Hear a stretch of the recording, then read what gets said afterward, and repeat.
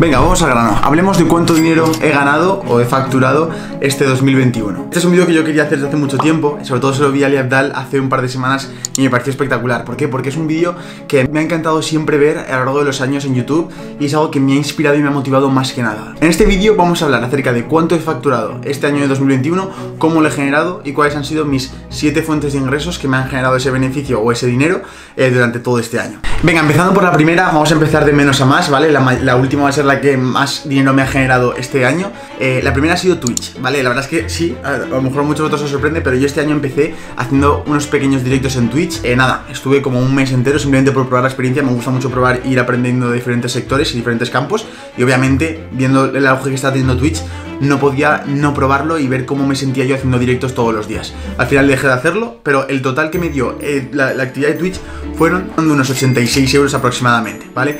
Obviamente no salió nada rentable, pero sobre todo lo quería vivir para esa experiencia y aprender un poco más cómo funcionaba todo el tema de hacer streaming y cómo funcionaban las formas de ganar dinero dentro de la propia plataforma de Twitch.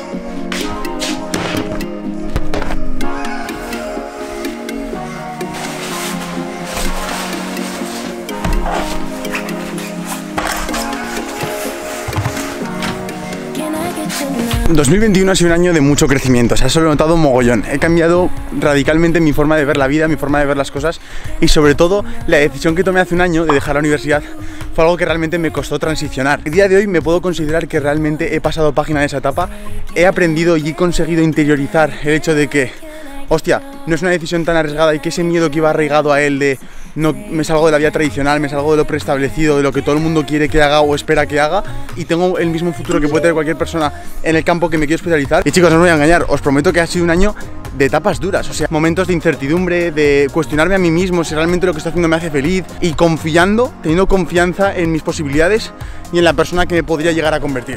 La segunda fuente de ingresos que he tenido este año, eh, la más grande, ha sido trabajar en Globo. Y a ver, no os sorprendáis, o sea, ya estaba claro que iba a aparecer por aquí por el vídeo, porque quieras o no, eh, o, lo haya criticado o no, una forma que he tenido este año de ganar dinero. Hemos hecho dos vídeos, los cuales en el primero fue a mitad de año que trabajamos durante una semana, y después más adelante en el año quise subir la apuesta, quise demostraros que realmente se podía y que realmente eh, había que esforzarse por lo que querías, y trabajamos durante 30 días seguidos en Globo. Acabamos ganando un total entre las dos fechas de unos 600 euros aproximadamente, 600 poco, y la verdad es que sin duda no parecen nada suculentos porque al final fue un, fue un ingreso que costó mucho, que sufrimos mucho, que pasamos mucho frío con la bici, fue uno de los vídeos que más orgulloso estoy y sin duda podría decir que ha sido probablemente el vídeo que más he sufrido a la hora de grabarlo y que más me ha llevado eh, terminarlo, crearlo y, poder subirlo. Y algo que también he hecho este año, que me gusta mucho, ha sido focalizar, es decir, ha sido, ser consciente de la importancia que tiene poner foco en lo que tú realmente quieres y lo que en las prioridades que tú tienes, tú mismo, no lo que la gente alrededor piensa,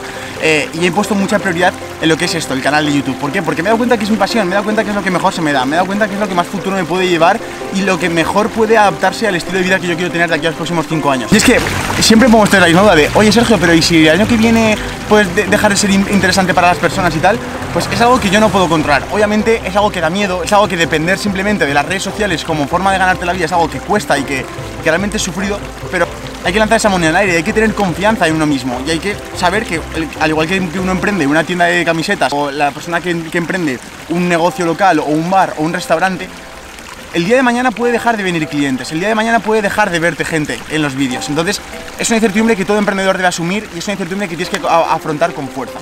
Y con ello quiero hablaros de esa tercera fuente de ingresos, que es, que es acerca de las mentorías que habría hace apenas 50, 60 días, ¿vale? Y es básicamente porque mucha gente me preguntaba, oye Sergio, ¿cómo puedo empezar en YouTube? ¿Cómo puedo crecer? Tengo este canal, ¿qué me consejos me das? Entonces colgué una historia y puse, oye, eh, ¿os interesaría que os pusiese ayudar en una llamada de Zoom una hora charlando entre tú y yo para ver cómo podríamos solucionar esto. Y bastantes de vosotros me pusisteis, me parece perfecto, yo sí que lo contrataría, etcétera. La verdad es que estoy súper contento porque hacemos unas videollamadas en las cuales tratamos cada caso uno a uno y realmente que yo intento dar los mejores consejos que yo sé, los mejores consejos que a mí me han, servido durante los últimos cuatro años para construir una marca, una marca personal y conseguir crecer tu marca personal hasta un punto en el cual puedas ganar dinero de ella y ya decías tú si quieres dedicarte full time a ello, a tiempo parcial, etcétera. Y esa fuente de ingresos este año, ya te digo, lleva 50 días abierta y ya llevamos 750 euros facturados. Y que además, ya os digo, lo he promocionado dos veces por historias, dos historias sueltas que he subido en Instagram y a partir de ahí ha generado todo esto. Entonces, la verdad es que estoy súper contento y ahí tenéis la tercera fuente de ingresos. Vamos a por la cuarta.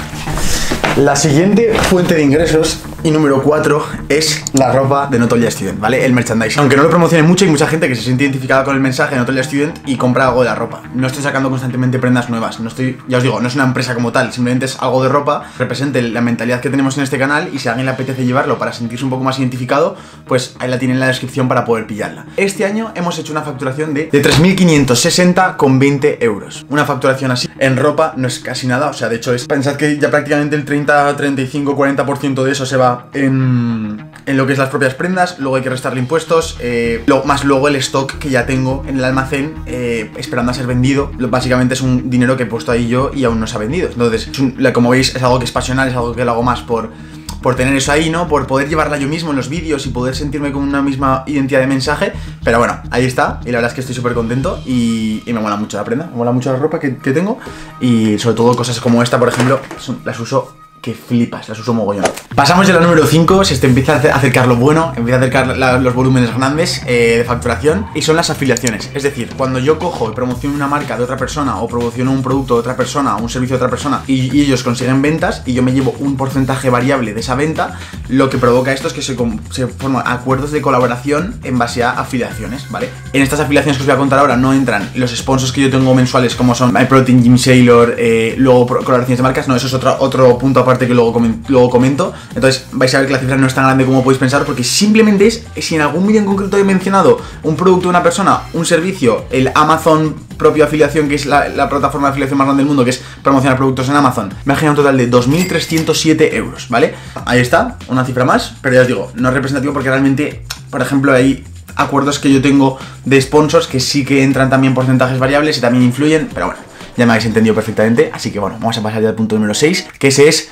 YouTube. La verdad es que YouTube ha ido creciendo la monetización en mi canal constantemente, ¿por qué? Porque he ido pasando de un contenido que era más de estudiantes, más del día a día, más de blogs, a un contenido más enfocado al emprendimiento, más enfocado al, dinero, a las finanzas personales. Y eso quiere decir que mi RPM es más alto. RPM significa Revenue per Mil, es decir, lo que tú ganas por cada mil visitas reales. Sin la parte de la que se queda YouTube, sino todo lo que te va a llegar a ti. Y este año nuestro queridísimo canal ha hecho un total de 9.609,76 euros bastante contento. Si solo comparo el, lo que, el esfuerzo que le doy a los vídeos y la edición y las horas y todo respecto a lo que gano, sale un sueldo normalillo, ¿vale? Obviamente, lo, bueno de esto es lo que te permite, el poder promocionarte, el poder hacer crecer tu marca, el poder luego promocionar lo que tú quieras, es decir, afiliaciones, sponsors de marca, mi propia ropa, cualquier producto o emprendimiento que quiera sacar lo puedo promocionar. Y ya por último, chicos, la última fuente de ingresos, que es la más grande de este año, eh, ha sido el de las colaboraciones pagadas, también sumado con sponsors, que tengo varias reflexiones que ahora comento después de decir la cifra, que también son importantes de analizar. Eh, las colaboraciones y todo esto ha generado una cantidad de dinero que os voy a decir ahora mismo, que han sido un total de 12.365 euros con 27 céntimos, ¿vale? Y el, y el, total de todo que suma todo esto, sumando el resto de fuentes de ingresos, creo que está en torno a 29.000 y algo, creo, o casi 30.000, no sé, por ahí, ¿vale? Que eso, si lo dividimos entre 12 meses, sale a que aproximadamente en torno a 2.500 euros al mes de facturación eh, en cosas como, por ejemplo, como con la ropa no saco nada de beneficio, ¿vale? Y de verdad que todas estas cifras que estoy diciendo, chicos, eh, perdonadme si no, si no me, me deis la cabeza en plan de cuánto, no sé qué, porque esto es relativo, esto es como siempre, a una persona que gana 50.000, 100.000 o que está acostumbrada a escuchar a gente que es millonaria, ¿vale? Pues obviamente le aparece poco, pero por ejemplo yo que vengo de, un pasado en el cual tenía, tenía, que hacer clases particulares, tenía que ahorrar poco a poco mi dinero para poder eh, hacer una compra que yo quería, para hacer un viaje, que en un periodo tan, tan rápido de tiempo haya conseguido progresar tanto económicamente, es algo que me hace estar muy orgulloso, ¿no? Y me hace, y me hace estar muy contento. Y, sin duda, si hablara con el Sergio de hace 3, 4 años cuando empezó, y le dijera, hey tío, este año vas a hacer este dinero, vas a ganarlo así, y esto van a ser tus beneficios, ¿me estás diciendo que voy a trabajar de lo que más me gusta que es hacer vídeos en YouTube y encima voy a ganar este sueldo al mes? O sea, ¿qué me estás contando? Pues sí, pero como siempre, los seres humanos somos así, eh, relativizamos y normalizamos todo súper rápido. Y claro, ahora para mí, claro, yo una vez estoy en este punto, me di cuenta de todo lo que puedo llegar a conseguir si sigo creciendo. Entonces, como dijo Casey Neistat una vez, eh, el dinero no, no, soluciona tus problemas, pero sí que te genera problemas mejores, ¿vale? Y esa es la definición perfecta de lo, que, de lo que puede provocar más libertad, más libertad económica, porque la cabeza, los hábitos diarios, lo que vives en tu día a día, lo que para ti es preocupante, lo que para ti te preocupa, siempre va a haber, siempre va a existir, siempre vas a tener esa preocupación, días tristes, días de llorar, días de estar agobiado, de frustrado, impotente, siempre vas a tener esas sensaciones, así que no te preocupes porque tanto tú como yo no estamos sintiendo de la misma forma. Justo además estos días ando leyendo este libro, ¿vale? Que a muchos de vosotros os sonará, que se llama La jornada laboral de 4 horas. Y lo he decidido leer a estas etapas del año porque siempre esta etapa del año es una etapa de reflexionar, de hacia dónde estás yendo con tu vida. Pone un poco la situación actual del mundo laboral y qué posibilidades tienes y qué formas de estructurar y de hacer y de diseñar tu estilo de vida tienes, ¿no? Obviamente, la forma que tiene hablar en ese vídeo Tim Ferris y cómo lo cuenta y todo, suena un poco como a que se puede ganar millones de euros estando desde la maca en Hawái, ¿vale? No me refiero a eso, me refiero a la parte de que tú puedes encontrar formas de ganar dinero siendo más eficiente. Y que también es verdad que la ley del 80-20 existe y que el, 80% de mis ingresos que habéis visto ahí vienen del 20% de las decisiones y acciones que he tomado en mi día a día, ¿no? Entonces aquí lo que quiero dejar claro, chicos, es que quiero dejaros claros mis prioridades. Y al final, esto es una cosa que habla en el libro, que es, que es que la gente normal, tradicional, está trabajando toda su vida con la esperanza de que esa época dorada de cuando te jubiles disfrutes realmente de lo que has trabajado todos estos años. Pero yo soy más partidario de decir, tío, yo prefiero ganar la mitad y poder ir disfrutando ya de ese estilo de vida o de esa libertad o de esas experiencias que yo quiero vivir y esas aventuras que quiero vivir mientras soy joven y tengo la energía para poder disfrutarlas al 100%. yo lo veo clarísimo. Yo pienso que esa es la verdadera persona rica en, cuanto al, concepto actual de rico, que es libertad de tiempo y libertad de, movilidad. Y por ejemplo, yo el hecho de que pueda trabajar aquí, pero que pueda trabajar en Portugal, pueda trabajar en Galicia, pueda trabajar en Londres, en, Estados Unidos y donde sea, porque me he construido mis fuentes de ingresos en base a, un estilo de vida en el cual no me ata a ningún lado, me parece una auténtica barbaridad. Así que bueno chicos, veremos qué para el 2022, yo no lo sé, lo viviréis conmigo juntos seguro. Lo que yo os tengo que todo claro es que el dinero no va, no va a rondar todas las decisiones que hago en mi vida y las, prioridades que yo tengo en mi vida van a girar en torno al dinero, sino que voy a priorizar sobre todo mi crecimiento, voy a priorizar las experiencias que vivo, voy a priorizar eh, mi felicidad, eh, mi, salud, todo eso son las cosas que realmente son importantes y definitivamente dedicarte a lo que te guste y ganar dinero de ello es algo que es las cosas más maravillosas que hay. Eh, así que seguiremos con ello. Espero que os haya gustado. Quiero hacer una cosa diferente y es quiero que me pongáis vuestros objetivos de este próximo 2022 o qué cosas os gustaría cambiar de vuestra vida este próximo año que viene ahora que es el 2022. Ponérmelo por abajo por los comentarios. Espero que os haya gustado mucho este vídeo, espero que os haya motivado o inspirado, que eso es un poco el objetivo que yo tengo. Estoy aún aquí, a lo largo del camino me queda todo esto, así que vamos para adelante, vamos a seguir luchando. Y nada chicos, este es mi caso, esta es mi situación, mi realidad y espero que os haya gustado. Así que os veo en la próxima y hasta entonces os vigilo y hacer el cambio. Adiós.